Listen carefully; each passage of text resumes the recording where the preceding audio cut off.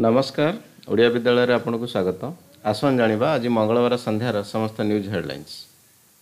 ସରକାରୀ ପ୍ରଯୋଜିତ ହୋଇଥିବାରୁ ଡ୍ରାଇଭରଙ୍କ ଆନ୍ଦୋଳନ ଦେଖି ପୁଲିସ ଚୁପ୍ ରହିଛି ବିଜେପି ସାଧାରଣ ସମ୍ପାଦକ। ସପିଂ ମଲ୍ରେ ହଠାତ୍ ନିଆଁ ଲାଗିଲେ ବିଷାକ୍ତ ଗ୍ୟାସ୍ ଲିକ୍ ହୋଇଗଲେ କ'ଣ କରିବେ? ଏକ୍ସପ୍ଲାନେଡ୍ ମଲ୍ରେ ମକ୍ ଡ୍ରିଲ୍ କରି ଦେଖାଇଲେ ଅଗ୍ନିଶମ ବାହିନୀ।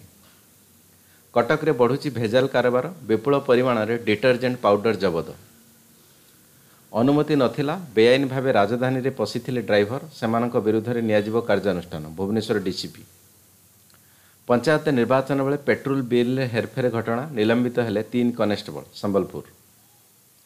ଉପକୃତ ହେବେ ସାତ ଦଶମିକ ପାଞ୍ଚ ଶୂନ ଲକ୍ଷ କେନ୍ଦୁପତ୍ର ତୋଳାଳି ପାଇବେ ଦୁଇଶହ ଚାଳିଶ କୋଟି ଟଙ୍କା ବୋନସ୍ ଓ ଅନ୍ୟାନ୍ୟ ଭତ୍ତା ପାଇଁ ଶହେ କୋଡ଼ିଏ କୋଟି ଟଙ୍କା ମଞ୍ଜୁର ଓଡ଼ିଶା।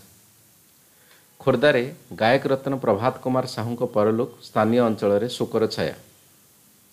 ନିୟନ୍ତ୍ରଣରେ ଅଛି କରୋନା ସଂକ୍ରମଣ ମାସ୍କ ପିନ୍ଧିବା କଟକଣା ରାଜ୍ୟରୁ ହଟି ନାହିଁ ସ୍ୱାସ୍ଥ୍ୟ ନିର୍ଦ୍ଦେଶକ।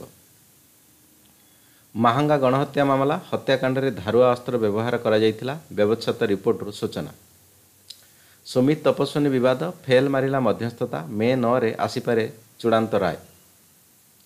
ସରକାରୀ ଅଫିସରେ କର୍ମଚାରୀ ଶୋଇଥିବାର ଭିଡ଼ିଓ ଭାଇରାଲ ହେବା ପରେ କାର୍ଯ୍ୟାନୁଷ୍ଠାନ ନେଲେ ଯୋଗୀ ସରକାର। ବଦଳିଲା ଟ୍ରେନ୍ରେ ରାତିର ଶୋଇବାରେ ନିୟମ ନୂଆ ଗାଇଡ଼ଲାଇନ୍ ଜାରି କଲା ଭାରତୀୟ ରେଳବାଇ ଦଶଟା ପରେ ଲାଇଟ୍ ବନ୍ଦ। ଇପିଏଫ୍ଓ ବେତନ ସୀମା ଏକୋଇଶ ହଜାର ଟଙ୍କାକୁ ବଢ଼ିବ ଉପକୃତ ହେବେ ପଚସ୍ତରୀ ଲକ୍ଷ କର୍ମଚାରୀ।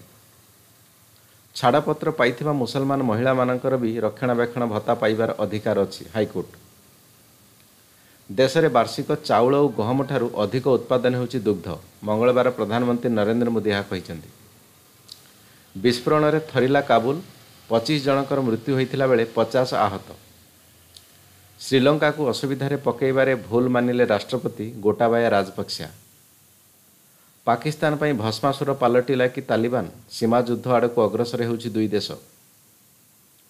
ଇମ୍ରାନଙ୍କ ପାଇଁ ଆସିଲା ଖୁସି ଖବର ପାକ୍ ଅଧିକୃତ କାଶ୍ମୀରର ପ୍ରଧାନମନ୍ତ୍ରୀ ହେଲେ ସର୍ଦ୍ଦାର ତନବୀର। ଯୁଦ୍ଧଭୂମିକୁ ଓହ୍ଲାଉଛନ୍ତି ରୁଷର ପିଲା ତିରିଶ ହଜାର ପିଲାଙ୍କୁ ସେନାରେ ଭର୍ତ୍ତି ପାଇଁ ଦିଆଯାଉଛି ଟ୍ରେନିଂ ରିପୋର୍ଟ। ଲଗାତାର କମୁଛି ସେୟାରର ଦାମ ଟପ୍ ଟେନ୍ କମ୍ପାନୀ ତାଲିକାରୁ ବାଦ୍ ପଡ଼ିଲା H D F C Baahubali ଦୁଇକୁ ପଛରେ ପକାଇ ରେକର୍ଡ ଭାଙ୍ଗିଲା କେଜିଏଫ୍ ଟୁ